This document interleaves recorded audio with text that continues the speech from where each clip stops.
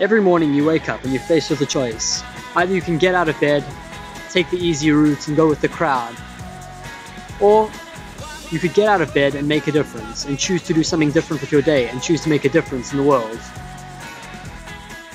There's an African saying that goes, if you want to go fast, go alone. But if you want to go far, go together.